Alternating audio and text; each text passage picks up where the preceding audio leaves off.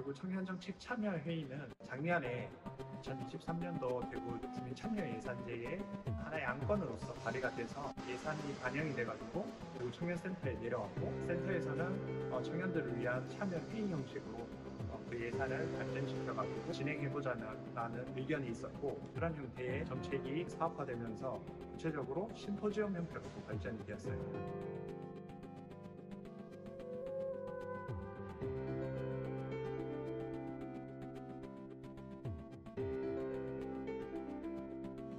하고 청년 정책에 대해서 있다 하길래 신청을 하게 되었고요. 청년 도전 지원 사업을 하고 있는데 관련돼서 한번 더 청년들을 위해서 좋은 정책에 대해서 제안도 해보고 실현도 해보고 싶어서 이렇게 지원하게 됐습니다.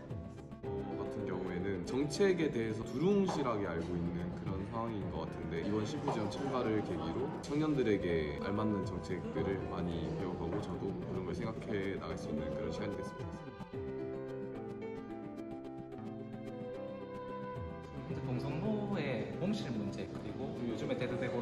있는 학교 간 성폐합 문제 그 해결할 수 있을 만한 그런 주제를 가지고.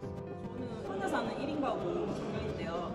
혼자 살다 보면 식습관 이런 게 문제가 많이 되거든요. 그래서 1인 가구를 위한 뭐 요리 프로그램이라든지 이런 게 있는 걸 알기는 한데 잘 모르시는 것 같아서 이제 시자체에서 1인 가구 청년들을 모아가지고 홍보도 하고 건강한 식습관에 대해서 알려주셨으면 좋을 것 같아서 그걸 제안하고 싶어요. 듣고 또 배우고 제 의견도 아낌없이 내고 그런 자리로서 최선을 다하겠습니다. 청년정책 심포지엄 화이팅! 오늘 잘 듣고 실천할 수 있는 게 있었으면 좋겠고 네. 대구 청년들 모두 화이팅!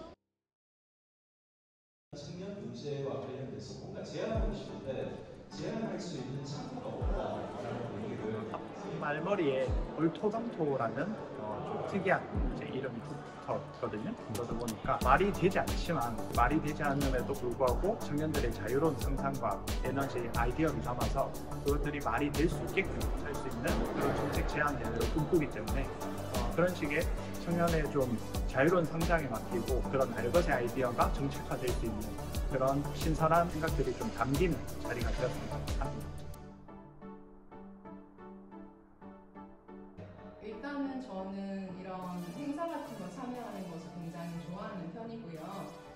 아직은 청년으로서 이 사회에 대해서 뭐 요구하는 바, 뭔가 생각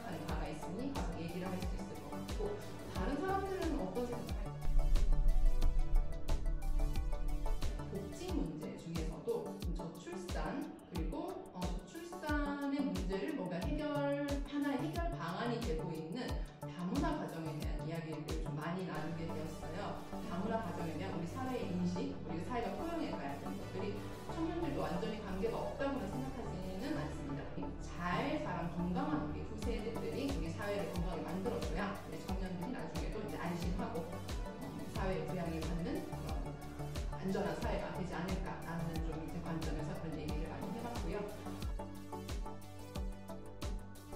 저는 일단 어, 지금 오늘 너무 감명이 깊었던 것이 어, 각자가 또 발표를 하시는 분들이 굉장히 적극적으로 참여를 하는 모습이 너무 인상이 깊었습니다. 저는 이게 회의가 굉장히 조용하고 어색하지 않을까 걱정 많이 하고 왔거든요. 그런데 여기 앞에 나서시는 분들도 굉장히 생각이 깊으시고 오시기 전에 이미 또 충분히 많은 생각을 해보신 분들이 많더라고요. 그런 분들 얘기를 들으면서 좀 많은 것들을 저도 배우고 가게 되고 또는 뭐 제 생각이 뭐 실제 이루어지는 것도 있다 이런 것도 들으면서 많은 것을 배우고 알게 된 기회라고 생각합니다. 어, 여러분들이 내주신 정책에 대해서